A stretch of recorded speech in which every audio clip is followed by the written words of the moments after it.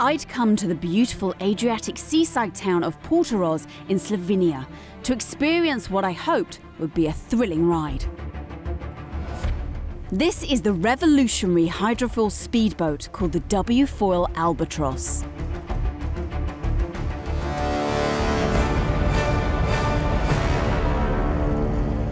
Hi guys, you must be Thomas. Yes, uh, nice to meet you.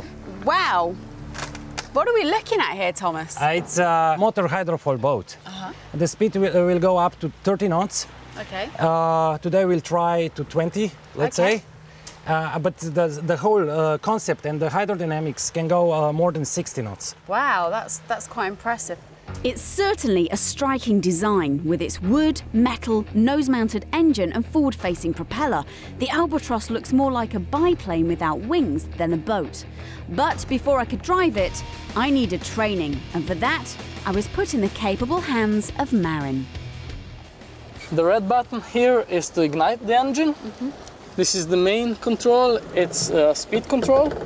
And then you will see the foils coming out of the water Uh-huh. and the boat will lift up and then we'll go just straight. First, I was taken out in the front passenger seat to get a feel for how the wFoil handles. Okay, so it's getting a little bit more speed up. Now the nose is pitching up and the hydrofoils are a little bit further out. This prototype has a top speed of 30 knots, but the makers hope that further research and development will enable future models to sail at up to 60 knots. One of the big advantages of a hydrofoil is that at speed you ride above the waves, so you don't get the buffeting normally associated with speedboats. When we went out on the water, we didn't really go that quick.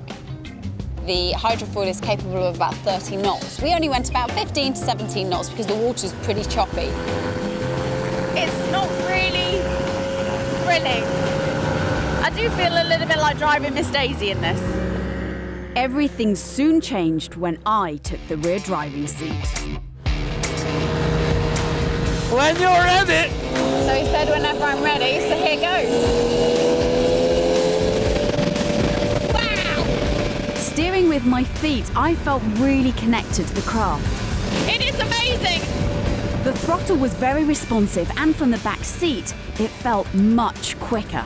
The speed accumulates so quickly, there's a lot of wind resistance. I'm wrestling a lot with the steering.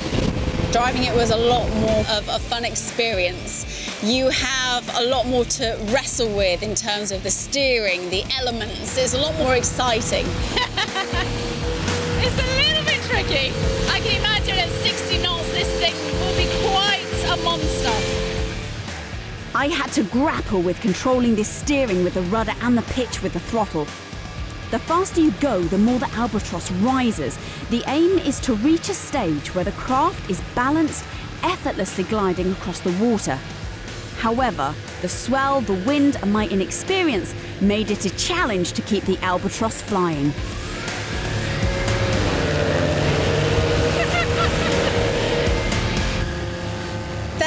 Few occasions while I was driving the hydrofoil where Marin in front of me got absolutely drenched.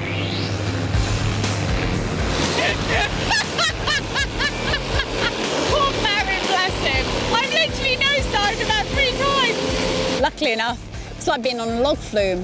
The ones at the back don't get as wet, the ones at the front get drenched. But it all added to the fun.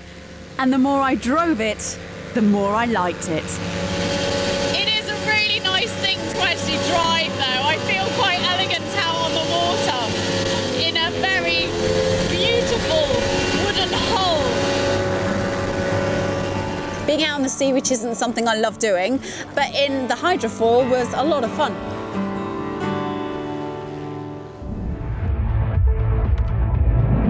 I search for the best way to stay logged on when you're away from your desktop. I use one. It had obviously all gone wrong. I'd killed my PC. That's the Vista.